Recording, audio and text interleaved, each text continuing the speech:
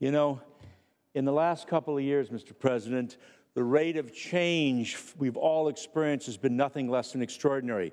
We can go to the bank and we can take a picture, instead of going to the bank, I should say, of our check and deposit it, right? We don't need to have a map anymore. We just have these devices on our telephones or in our cars to tell us where to go, and they talk to us, you know, always in a, in, a, in a great voice. And so what Assembly Member Dababneh is seeking to do here is to start the process with the Department of Motor Vehicles of where we can digitize your driver's license. It doesn't do it, it requires a study, and to start the process, I respectfully ask for your support of this measure. Members, debate or discussion on this item? Debate or discussion? Seeing and hearing none, Secretary, please call the roll. Allen. I. Anderson. No Bates. No Beall. I. Berryhill. No Block. I. Cannella. De Leon. I. Fuller. No Gaines. Galgiani. I. Glazer. I. Hall. I. Hancock. I. Hernandez.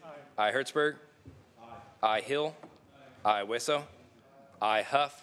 No Jackson. I. Lara. I. Leno. I. Leyva. Liu. I. McGuire. I. Mendoza. I. Mitchell. I. Monning. I. Moorlach.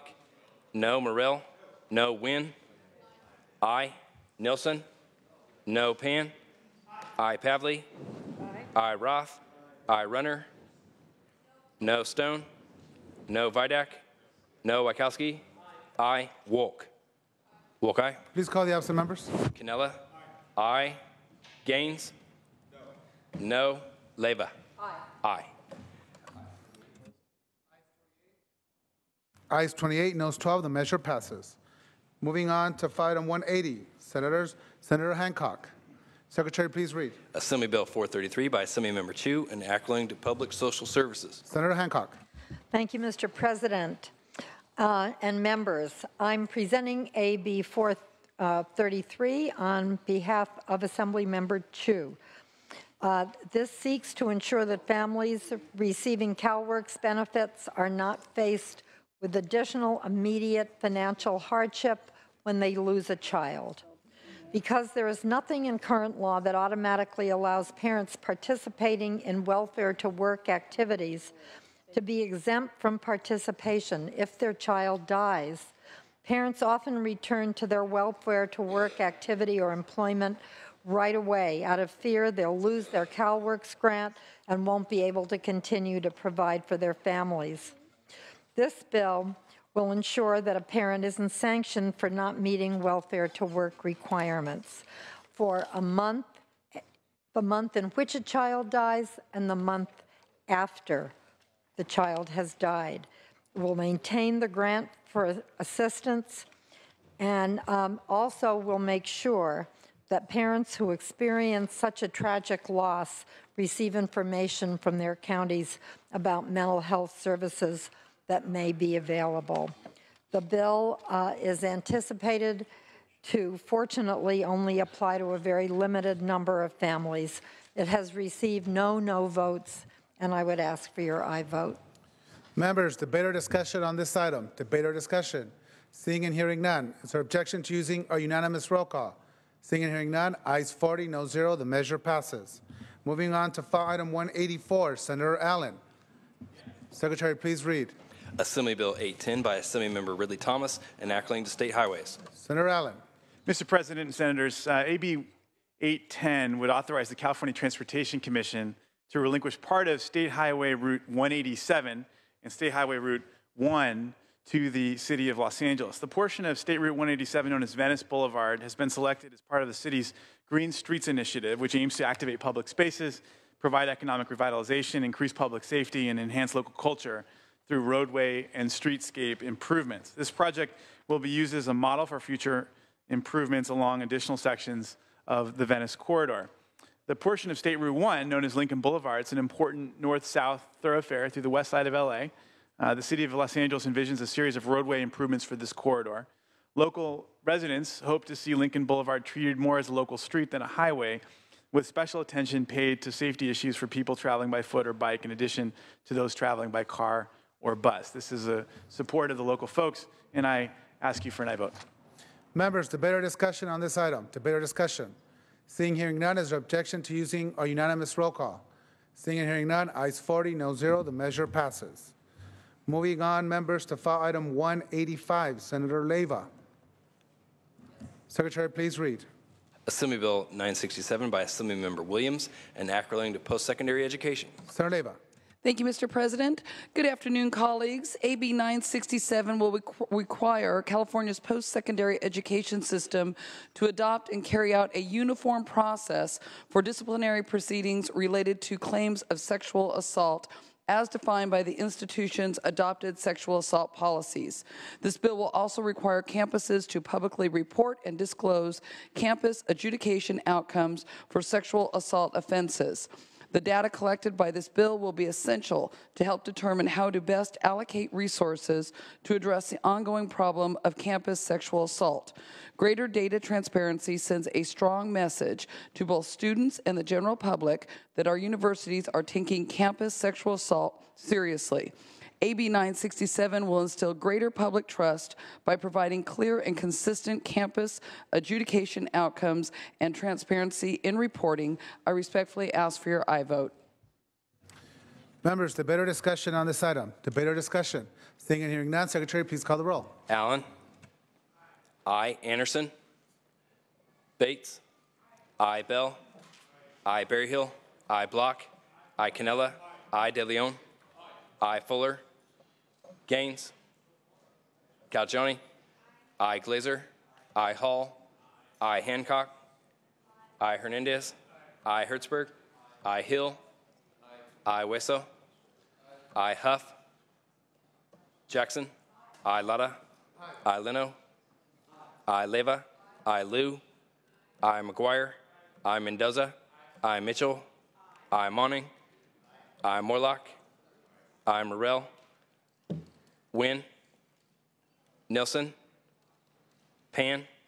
I. Pavley. I. Roth. I. Runner. I. Stone. Vidak. Stone I. Vidak. I. Wieckowski. I. Wolk. Wolk I. Call the absent members. Nielsen, I. Nguyen, I. An- Fuller, I. Anderson? No. Gaines? Huff? I. Morrell?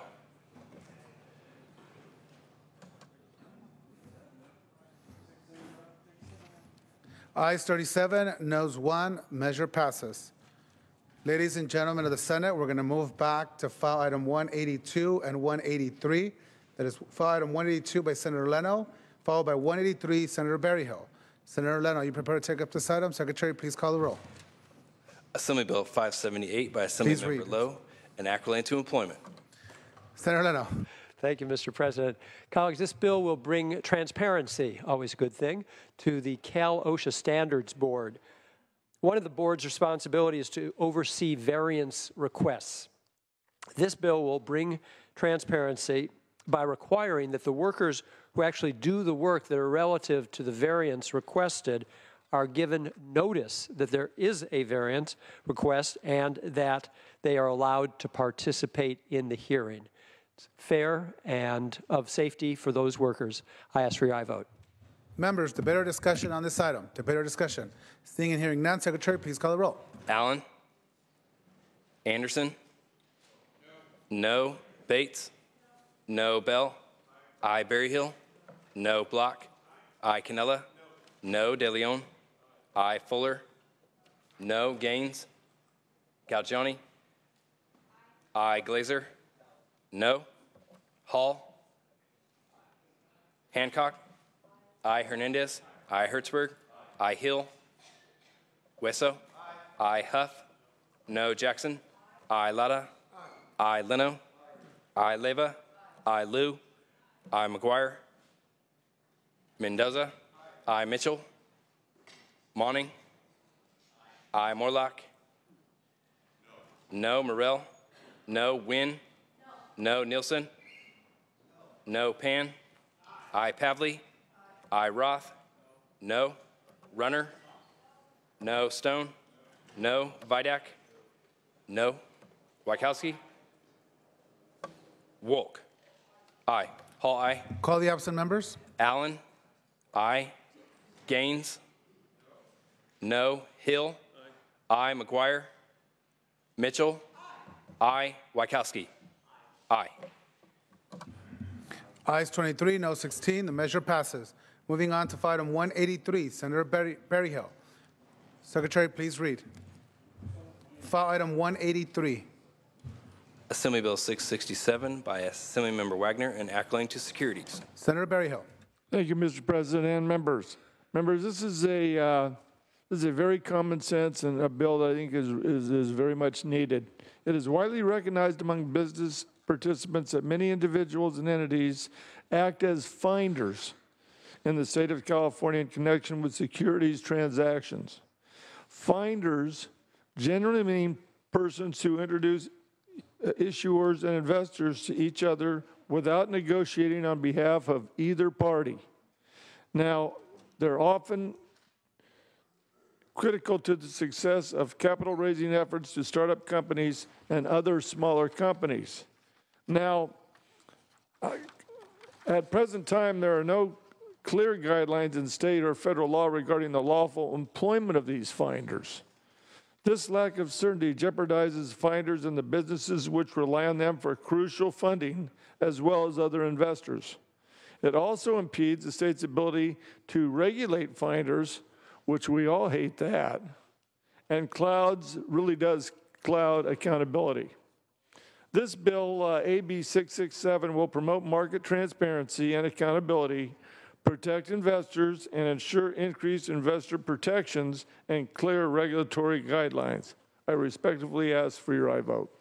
Members, debate or discussion on this item? Seeing and hearing none, is there objection to using a unanimous roll call? Seeing and hearing none, ayes 39, no zero, the measure passes. Members, I'm going to announce the next five items with their floor managers. File item 187, Senator Hill, 188, Senator Allen, 191, Senator Leyva, 193, Senator Beall, and 194, Senator Mendoza. File item 187, pass on file. File item 188, Senator Allen.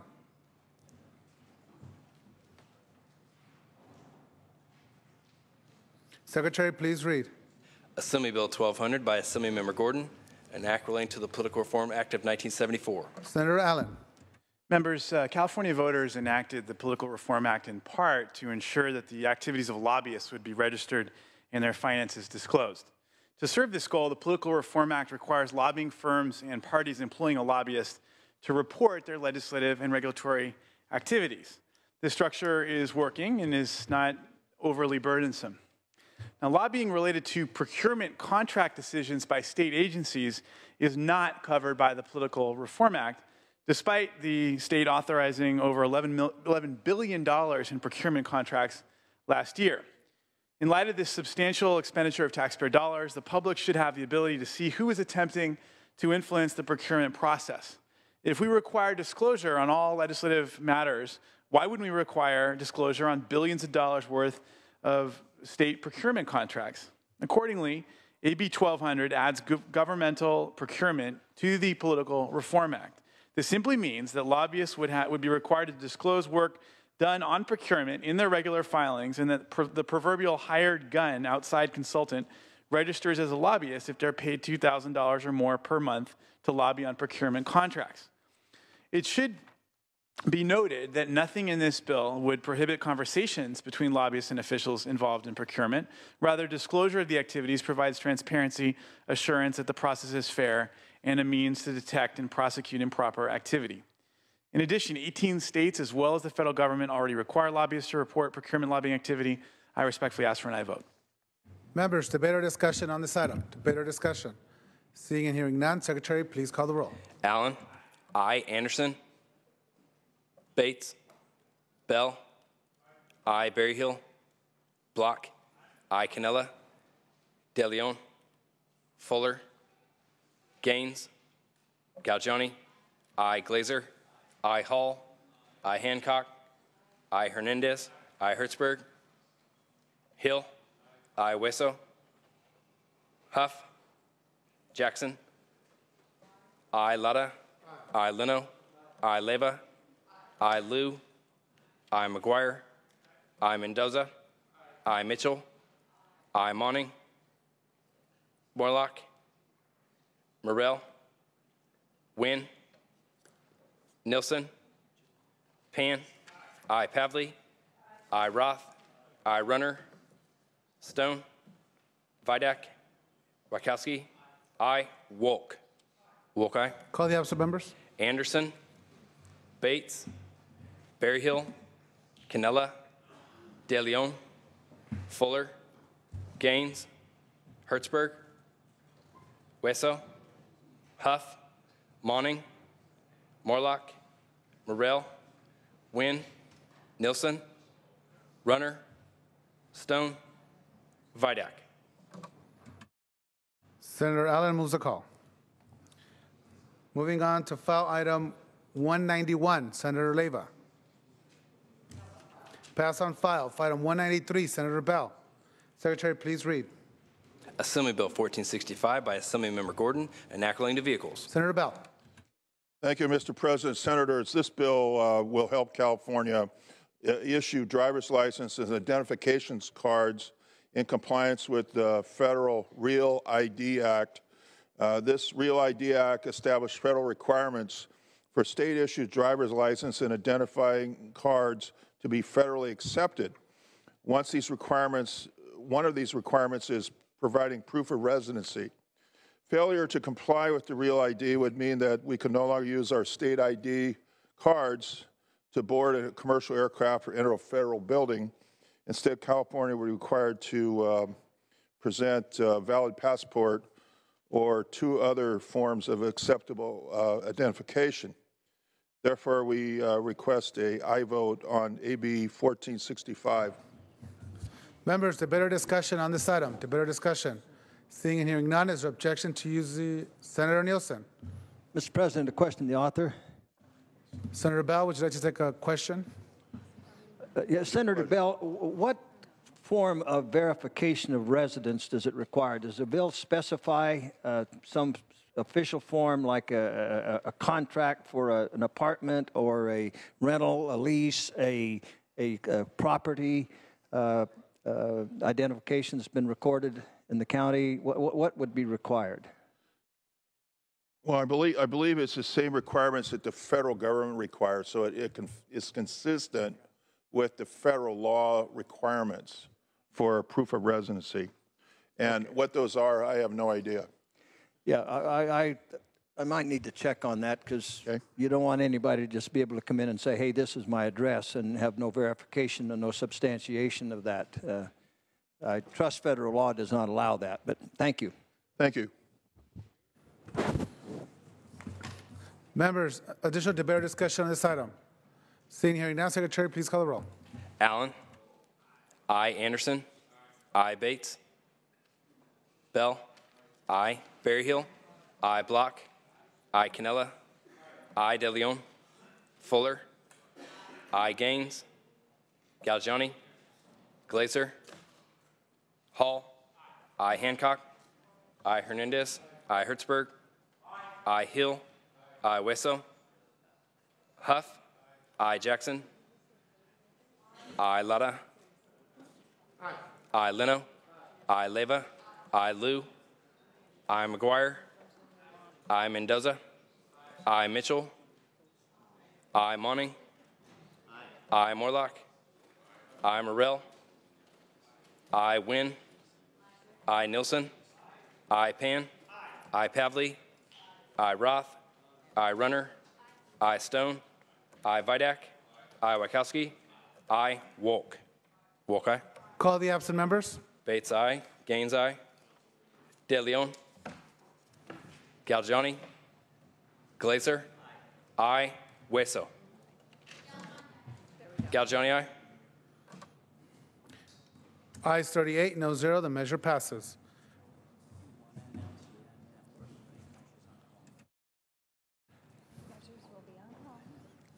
Members, we are going to be putting measures on call to allow members to return from the assembly. We are going to continue with file item 194, Senator Mendoza, that's passed. Member, the, members, the next five items uh, that are up are 195, Senator Allen, 196, Senator Mitchell, 197, Senator Mitchell, 198, Senator Jackson, and 189, Pan. Starting with 195, Senator Allen. Secretary, please read. Assembly Bill 428 by Assemblymember Nazarian, an act relating to taxation to take Senator- effect immediately, tax levy. Senator Allen. So in January of 1994, Senators, a magnitude 6.7 earthquake struck the San Fernando Valley, resulting in one of the most costly natural disasters in U.S. history. In addition to the tragic loss of life, the Northridge quake caused over $20 billion in damages, $49 billion in economic losses, and an unprecedented homeowners insurance crisis. For the 10 million people who experienced this disaster, it remains powerful in our collective consciousness. Uh, yet, more than 20 years later, our state still stands underprepared for the next catastrophic quake. And scientists tell us that it's not a matter of if, but when. AB 428 establishes a five year, 30% tax credit for the costs of seismic retrofit construction of qualified at risk buildings. The bill caps the total amount of credits to $60 million over five years. And through a process of local certification, the Franchise Tax Board would administer the credit on a first come, first served basis. Hazard mitigation not only prevents the loss of life, it's also a proven and sound investment. On average, every dollar spent on hazard mitigation provides communities with $4 in future benefits. With that, I respectfully ask for an aye vote. Members, debate or discussion on this item? Debate or discussion? Seeing and hearing none, Secretary, please call the roll. Allen. I. Anderson. Bates. I. Beall. I. Berryhill. I. Block. I. Cannella. I. De Leon. Fuller. I. Gaines. Galgiani. I. Glazer. I. Hall. I. Hancock. I. Hernandez. I. Hertzberg. I. Hill. I. Hueso. Huff. Jackson. I. Huff I. Lara. Aye. I. Leno. I. Leyva. I. Liu. I. McGuire. I. Mendoza. I. Mitchell. I. Monning. I. Moorlach. No. Morrell. Nguyen. I. Nielsen. I. Pan. I. Pavley. Roth. I. Runner. I. Stone. I. Vidak. I. Wieckowski. I. Wolk.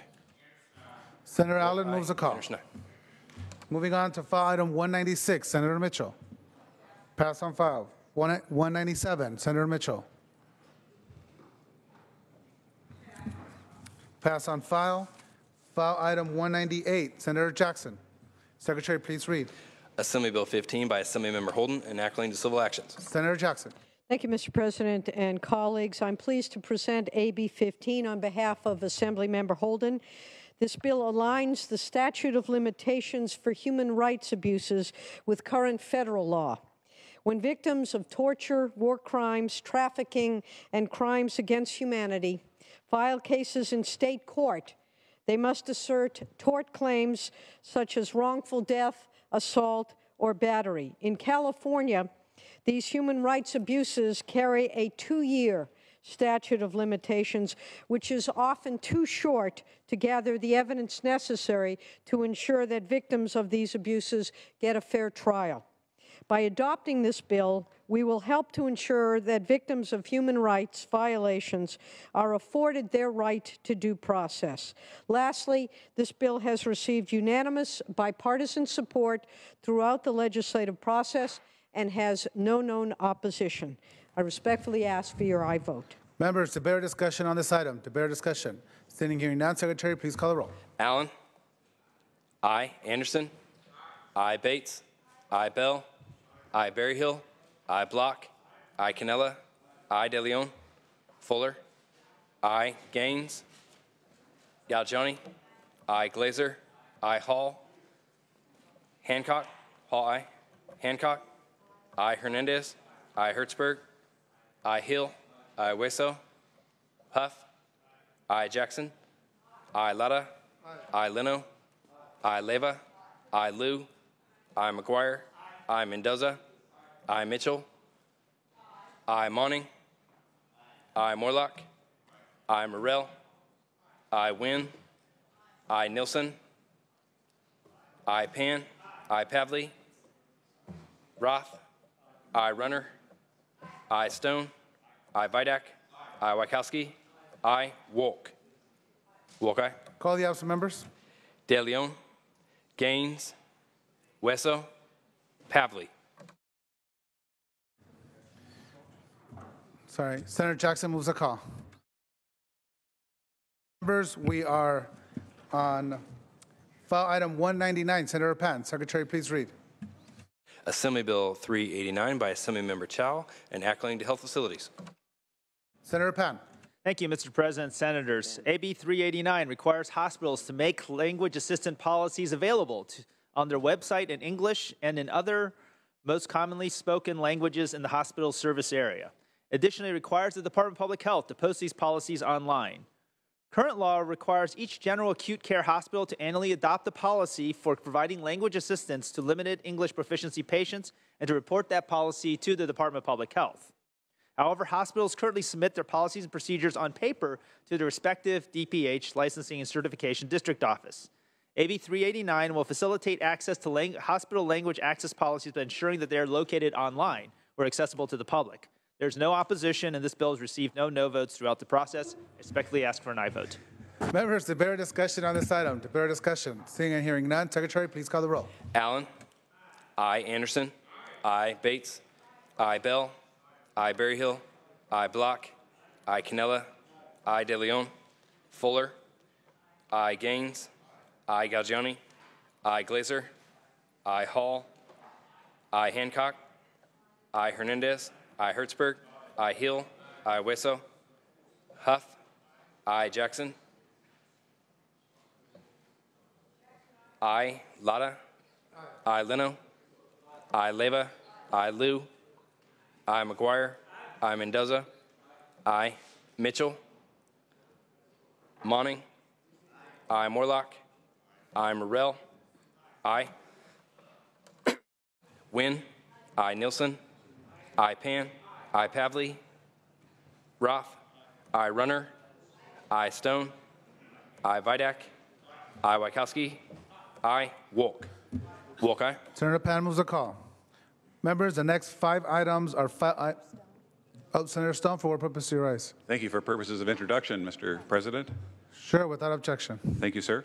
In attendance today, my, my friends uh, on the Senate floor is a group of student pharmacists from the Student Pharmacists Advocacy Coalition of the University of Pacific Thomas J. Long School of Pharmacy and Health Sciences. These students are very interested with legislation, and perhaps we can convince them one day to work on this floor. So please, if you would, welcome the students here from the University of Pacific up in the gallery.